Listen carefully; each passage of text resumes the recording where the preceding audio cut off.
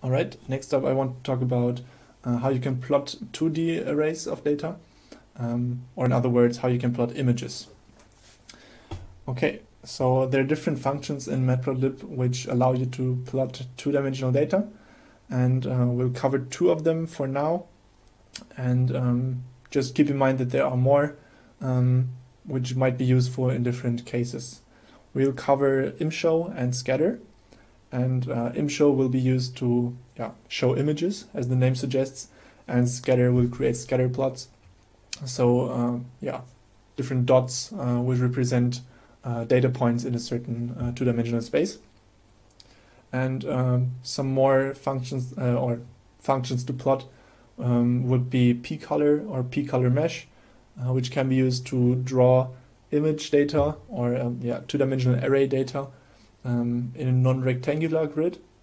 So basically, kind of warped images. Um, you can imagine it in that way. And uh, there's also MatShow, which is very similar to ImShow, but it just has some different defaults. Uh, for example, it just um, yeah creates different tick values, uh, which makes sense for matrices. Um, and as MatShow suggests, um, this can be used to yeah, plot the values of matrices. So um, and colorize the matrices basically based on their values. Um, all of these functions will return scalar mappables, and these scalar mappables are again artists. And um, as we've seen before with the line artists and the rectangular uh, rectangular artists, uh, these have different functions uh, which can be used to modify the looks and the behavior of, of these objects. I want to start with ImShow, and um, first of that, first of all, um, for that we want to create a 2D array which we can plot, and here we just create um, yeah a two-dimensional arange, um, as you should already know how that works, and then we call uh, x.imshow and pass our two-dimensional array, and uh, simple as that, we can plot an image, and um, well, images are basically as simple as just having two-dimensional um, arrays with pixel values inside. Some images, um, especially images with color values, um, are a little more complex. They might have three dimensions. Um, so they have two dimensions for the width and the height, and then one dimension for the uh, different color channels, uh, which are usually um, red, green, and blue. And uh, yeah, sometimes also an alpha channel. Um, and Matplotlib also supports that, so Array2D could also have been a three-dimensional array, and um, with three color channels, it would already have uh, picked uh, red, green, and blue as the corresponding uh, yeah colors to display. But if we just have a two-dimensional array, um, what you will notice is that it yeah it assigns these weird colors here, and these colors come from a certain color map, and this color map is used to look up which color a certain value should have based on um, yeah how large the values in the data are. And uh, if we don't specify anything else, it will just use the minimum of our data as yeah the minimum in the color map and the maximum in our data as the maximum in the color map. And um, yeah, we'll talk about color maps in more detail later on. But for now, uh, just know that if you just provide a two-dimensional array to ImShow, then it will uh, automatically assign this color map here. Okay, and um, we can also use ImShow, for example, to just um, plot arbitrary images that we um, have laying around. And here we just um, read in one image uh, that is in the images folder. And uh, the image is called rocket.png. And plt.imread will take this path and just load this PNG file as a uh, as an array, and then we can can use imshow to plot this uh, image of a rocket. And then you'll also notice is that this doesn't have any axis, um, and above here this had these tick labels and these lines around them, but this doesn't anymore, and this is because we called x.axis and passed off. And this axis um, corresponds to these lines and these ticks, and this function will just say that um, yeah we don't want any of that, turn that off, and, and that's why we pass the string off. There are also different options that you, that you can pass to axis, uh, which we'll call, uh, also cover later on in this lecture. Okay, and uh, just very quick, as I already mentioned, the MatShow um, is just a different uh, yeah, default of ImShow. And um, here we just assigned um, integers to the different um, rows and columns with 0 and ze uh, 0 being the top left. And uh, here um, we had uh, the 0 row at the top here. And um, this was just um, yeah the tick labels on different sides of the plot. And here for this imshow it also it created these uh, ticks in between. So we have these 0.5 and 1.5 and so on um, which might not be that useful for images because we're dealing with uh, discrete pixels. All right now as I've already talked about color bars a bit um, now I want to show you how you can actually create them and this is by calling fig.colorbar and passing the artist that was returned by the imshow. And here notice that uh, we call this on the figure object and not on the axis or PLT.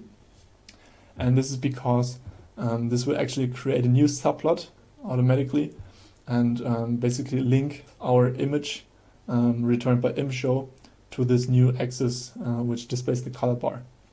And it will take some space away from our image um, but this is just, um, yeah, this is just the way that works.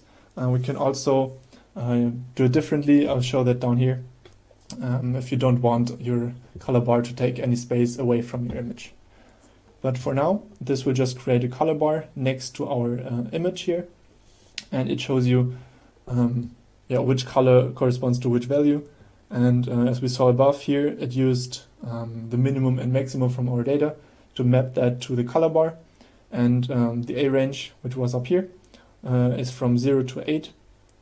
And this color bar now shows that this purple color is 0 and this yellow is 8. And this is just um, yeah, the mapping that Matplotlib automatically created for our data here. And yeah, um, again, this is just the, the data. So you can see the minimum um, 0 was the purple and the 8, the maximum was yellow. Okay, and now as I said, uh, if you want your color map to be inside of your image so that it doesn't remove any space um, inside the figure, then you can uh, pass the CX argument to color bar. And um, otherwise, this is very similar. We again call fig.colorbar and pass our image, and then we say CX um, yeah, is uh, equal to this uh, cx, which we created up here. And cx is just a new axis object that we uh, created at this certain position here. And um, yeah, this is another way to create axis.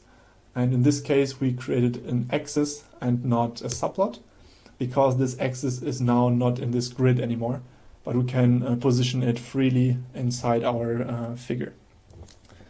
And uh, we use this CX um, to now plot this color bar. And we also say that the orientation should be horizontal. So um, not as the default here, which uh, is a vertical color bar. Now it should be horizontal. And as you can see here, this just created uh, this horizontal color bar, which is inside our um, original artist.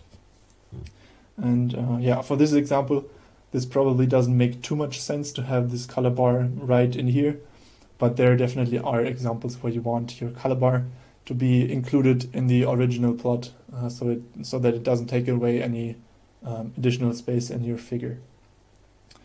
All right. Um, now there are different uh, parameters that you can pass to the imshow, pcolorMesh, uh, or contour and scatter um, functions and so on, which all work on uh, two-dimensional data. And uh, these are um, yeah standardized for these different functions so that you can understand um, the different functions if you know how to work with one of them. The first parameter here we want to cover is the CMAP. And CMAP is just uh, the name or actually a color map uh, object that uh, should be used to create a color map for a certain um, plot. And um, I'll cover different color maps later on. But just uh, yeah, now for now that Matplotlib by default already includes lots of different color maps, uh, which can be used in very different, um, yeah, for different uh, things. And um, this is very useful to create different looking plots and uh, actually have a meaningful colorization of different data. Okay, and the second and third arguments are the vmin and the vmax, and these just um, tell Matplotlib what the uh, minimum and the maximum value should be of the color bar. And if you leave them out, it will just use the minimum and maximum of the data. But if you specify these, um, it will use uh, these values as the minimum and maximum. And uh, these can be outside of your uh, data range, but they can also be inside. And if they're inside, then everything that is, uh, all of your data that is outside of this vmin to vmax range will just be clipped to um, yeah vmin and vmax so that um, yeah they're still displayable using the color map that you chose. Okay, and then uh, the third, the fourth parameter here is norm, and uh, norm will just um, yeah specify how the normalization should work for the color map, and uh, by default this will be linear, but um, yeah you can also choose different normalization functions, um, like for example log norm or power norm, which uh, yeah create a logarithmic norm um, or a exponent uh, exponentiation norm um, respectively. Okay. Um, now here we want to uh, show an example where we create uh, where we load some data here, and um, this data just comes from um, this sample data in the matplotlib uh, library. And um, yeah, this is a two-dimensional bivariate normal. You don't really have to know what that means, but um, yeah, it's just a two-dimensional map with uh, two normal distributions um, on them. And we want to visualize this. And for that, we can use the imshow function and pass our data. We already know data is a two-dimensional array, so this will work. And then we set this uh, color map here, and we set it to seismic. And seismic is just the name of one color map that is included in Matplotlib. And um, yeah, it's very useful to show um, negative and positive data, uh, which has like kind of a default at zero. And um, yeah, then as we've done before, we'll just add the color bar using fig.colorbar. And here you can see this is our uh, bivariate normal distribution. And uh, here we have one normal, and here's the other and um, yeah, they're just partly overlaid. And uh, this one down here, this has negative values, as you can see on this color map, and the other one here has positive values. Um, and yeah, this is how we would uh, visualize such a two-dimensional uh, statistical distribution. But um, as you already noticed that um, these values around these normal distributions are kind of reddish. And we don't want them to be red because um, these should be the default case. And as you can see here on this uh, color map, default looks like it should be white. So our zero values should be white and not this red uh, color. And this is where the vmin and the vmax arguments come in. And we can specify um, yeah, what the minimum and the maximum um, values in the color map should be. And we can do that such that the zero value should be in the middle. And um, for that, we can just set the vmin to minus 2 and the vmax to 2. And um, using that, we'll automatically have 0 in the middle of these two numbers. So the average of these two numbers is 0, meaning that the middle of the color map will be um, mapped to the number 0. And now if we do this, you can see that we have our normal distribution again, but now um, the 0 outside the two normals um, yeah, is mapped to the white color which makes more sense uh, in this case because we want to have this kind of default uh, where nothing happened um, to be white. Okay, now um, coming from imshow to scatter. And what scatter does is create um, a two-dimensional plot of data where we can map two different variables against each other and um, show how uh, one yeah, variable relates to the other. Okay, and for that, we can um, yeah, just call the x.scatter function, and we have to pass some data to it. We've created the data up here. So we have x1, x2, x3, and y. And x and y, uh, so x1 and y will be used to um, actually draw the scatter points, and x2 and x3 um, I'll talk about after that. And uh, if we just show this, you can see this is uh, yeah, pretty normal scatter plot where we have um, x values um, and y values. We also have a color bar, which we added here. And um, yeah, we even have different scaling for uh, these points. And um, yeah, we also have different colors, um, which are specified by the color map here. And uh, this was all done using these parameters here in the scatter function. And as you can see, uh, we have these four uh, arguments here, which are each assigned an array. And these arrays were created up here. And um, what this means is, um, first of all, the x and the y, these are the uh, positions. So x just corresponds to the x position here, y of course to the y position. And then we have these s and c parameters left. And uh, uh, what s does is, is just um, set the scale or the size of these points. And uh, we do this by just uh, taking these uh, random values and multiplying them by, by 50. And uh, yeah, by that we just get these uh, this variation in the size of the um, of the points here, and the color, the C, um, is set by this third um, x value, x array, which are again random values, um, which specify just like a value on this color map, and the color map then maps this value to a certain color. And then finally, we have a last parameter here, which is marker. And this will just tell Matplotlib uh, what kind of a marker it should show for each point, for each data point. And uh, we've just set this to an O. And uh, what this does is just create a filled circle. Um, there are lots of different markers in Matplotlib. I'll talk about uh, different kinds of markers later on as well. And uh, here's also a link to the Matplotlib um, documentation with just a big list of different markers. Um, yeah, this is quite useful.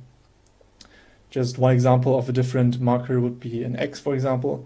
Here we have the same um, example again, but now we just added a second called the scatter and um, just set this marker to X and the first one to dot. And dot is very similar to the O, but just create smaller points and X will, yeah, as you probably already guessed, will just plot X's. And this is very useful to uh, for example, show the distribution of two different classes um, which have the uh, same kind of variables in them.